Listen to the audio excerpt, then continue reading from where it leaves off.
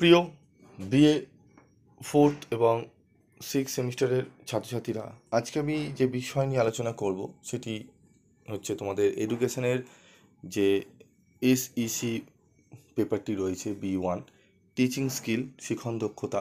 এই পেপার থেকে আমি তোমাদের গুরুত্বপূর্ণ প্রত্যেকটা অধ্যায় থেকে চ্যাপ্টার ওয়াইজ আমি কোশ্চেন তোমাদের বলে দিচ্ছি। এই প্রশ্নগুলো ভালো করে রেডি করো এবং তোমরা যদি স্টাডি মেটেরিয়াল সংগ্রহ করতে চাও তোমরা অত্যন্ত কম রেমুনারেশনের বিনিময়ে আদর্শ নোটস তোমরা পেয়ে যাবে।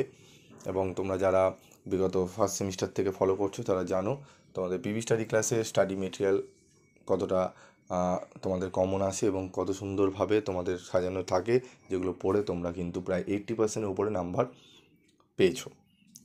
তো দেখো টিচিং স্কিল এক নম্বরের অধ্যায়, এক নম্বর অধ্যায় হচ্ছে আমাদের শিখন সম্পর্কিত ধারণা আন্ডারস্ট্যান্ডিং টিচিং এখান থেকে যে প্রশ্নগুলো পড়ব, সেটি হচ্ছে, প্রথম প্রশ্ন, শিখন কি? শিখনের প্রকৃতি বা বৈশিষ্ট্যগুলি উল্লেখ করো। শিখনের কার্যাবলী সম্পর্কে আলোচনা করো।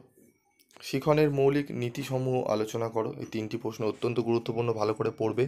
এখান থেকে তুমি দশ এবং পাঁচ নম্বরের কোশ্চেন কমন পাবে। শিখন ও প্রশিক্ষণ বলতে কি বোঝো? এদের মধ্যে সম্পর্ক লেখো। ঠিক আছে? এখান থেকে এই যে চারটে প্রশ্ন আমি বললাম, ঠিক আছে? শিখনের মৌলিক নীতি এবং শিখানো প্রশিক্ষণ বলতে কী বোঝো এদের মধ্যে সম্পর্ক? প্রশ্নগুলি অত্যন্ত গুরুত্বপূর্ণ, খুবই বাছাই করা প্রশ্নই তোমাদের সামনে তুলে ধরেছি। এই চারটি প্রশ্ন ভালো করে করো, ঠিক আছে?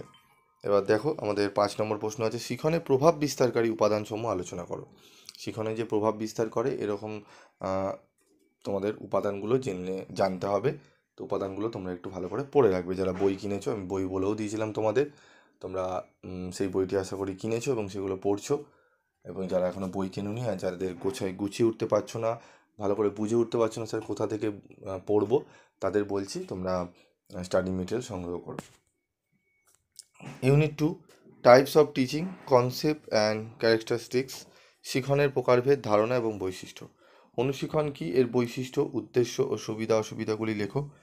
What is micro teaching write the features objective and advantages and disadvantages অনুপাত কি? এর বৈশিষ্ট্য, প্রয়োজনীয়তা ও পরিকল্পনার পর্যায়সমূহ লেখো। অনুকৃত শিখন কি? এই শিখনের প্রয়োজনীয়তা ও সুবিধা, অসুবিধাগুলি লেখো। What is simulated teaching needs advantages and disadvantages অনুকৃত শিখনের উপাদানসমূহ আলোচনা করো। Discuss the components of simulated teaching সংগতিমূলক শিখনের মুখ্য বৈশিষ্ট্য লেখো।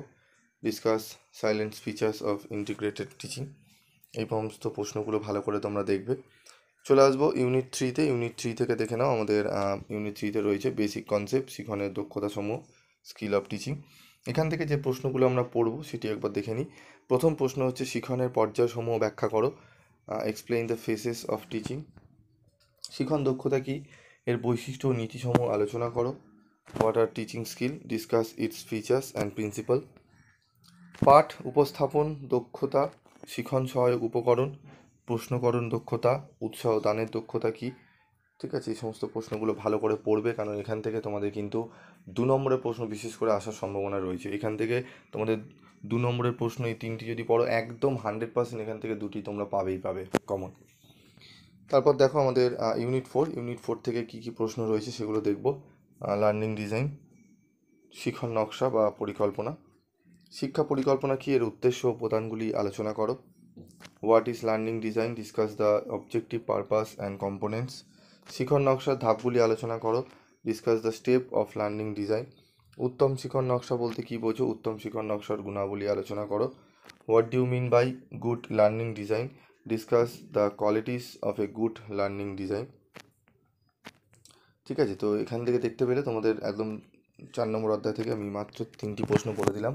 প্রত্যেকটা চ্যাপ্টার থেকে তোমরা কিন্তু তিনটি থেকে চারটি করে প্রশ্ন পড়লে, চারটে চ্যাপ্টার রয়েছে, তিনটি করে পড়লে বারোটি প্রশ্ন, বারো থেকে তেরোটি প্রশ্ন পড়লে তোমরা এখান থেকে হান্ড্রেড পার্সেন্ট কোশ্চেন কমন পাবে। তো এরকমই সাজেশান এবং নোটস পাওয়ার জন্য তোমাদের পিবি স্টাডি ক্লাসের সঙ্গে থাকতে হবে। যারা ফোর্থ সেমিস্টারে পড়ছো তারাও এই ভিডিওটি দেখবে এবং যারা সিক্স সেমিস্টারে রয়েছে তারাও দেখো। এবং তোমাদের যদি চ্যানেলে তোমরা নতুন হয়ে থাকো, অবশ্যই চ্যানেলটি সাবস্ক্রাইব করে পাশে থাকা বেল আইকনে ক্লিক করে রেখে দিও। কারণ নিত্য নতুন তোমাদের ইউনিভার্সিটি এবং পরে তোমরা মাস্টার্স করলে তারও আপডেট কিন্তু তোমরা এই চ্যানেল থেকে পেয়ে যাবে। তো আজকের মতো এটুকুই, দেখা হচ্ছে পরবর্তী ভিডিওতে সকলে ভালো থেকো, সুস্থ থেকো এবং তোমাদের আর কোন কোন সাবজেক্টের সাজেশান লাগবে অবশ্যই তোমরা কমেন্ট বক্সে লিখে জানিও।